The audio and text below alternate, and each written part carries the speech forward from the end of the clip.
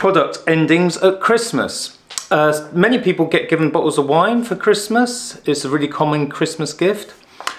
Uh, wine can vary in its consumption period, so after opening you should let some breathe. Sometimes if it's heavier wine you need to let it breathe for a little bit longer, maybe 20 minutes even. Uh, some wine, more white wines, you can start consuming right away.